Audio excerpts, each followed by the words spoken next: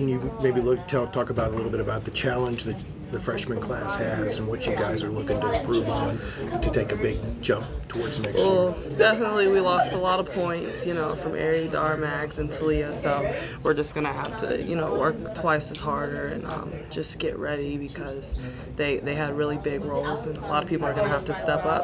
So we're just focused on just working hard this season, and just getting better in every level, and just getting ready for next year.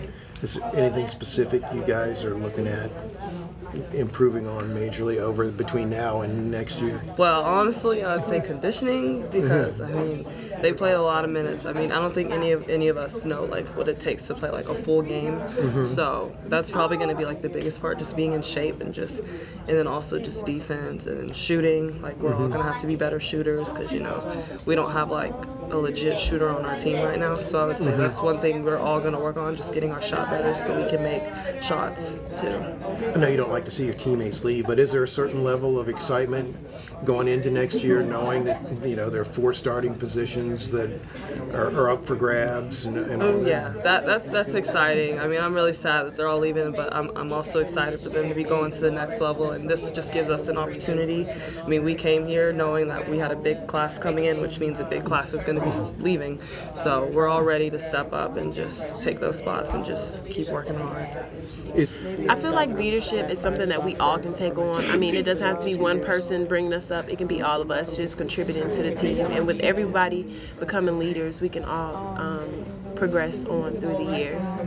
Is there something in a way exciting about a transition point like this where it's like, hey, you know, we can, you know, that, there's more of a role, more of an opportunity for us now, you know, to, to fill this this kind of void left by the players who graduated. I think with them leaving, it's a lot of doors open for everyone else and if we all work hard we're able to show everyone like what we've had and what we can contribute to the team and what we can make up this year.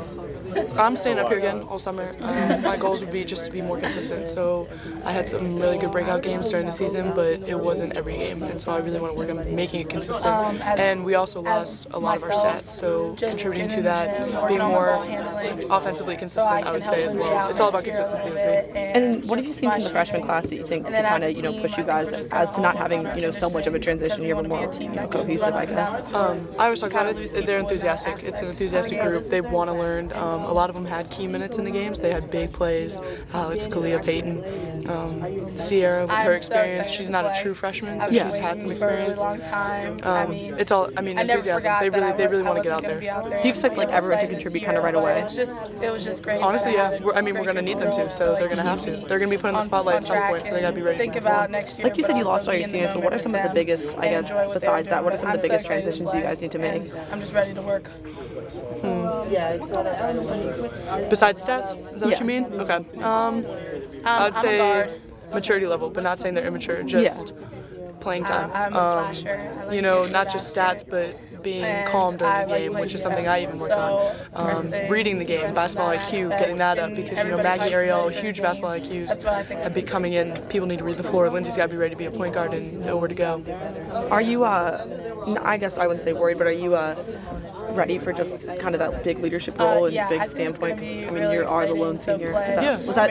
I mean, you knew that kind of coming in, right? yeah. Really, um, I'm excited. I think I'm not going to have to lead them in a way other than just doing what I need to do. They're going to be able to follow. They're going to be able to do what they need to. I don't think I'm going to have to tell any of them what to do or what they should do. They're gonna, I mean, there's not going to be a reason. They, they're really hardworking. Um, it's gonna it's gonna be exciting, and people they want to say like people don't think we're going to play as well because we lost so much talent, but we don't see it as we don't see it as um, trying to prove people wrong. We just see it as keeping the standard high. So we've set a standard and we want to keep it that way.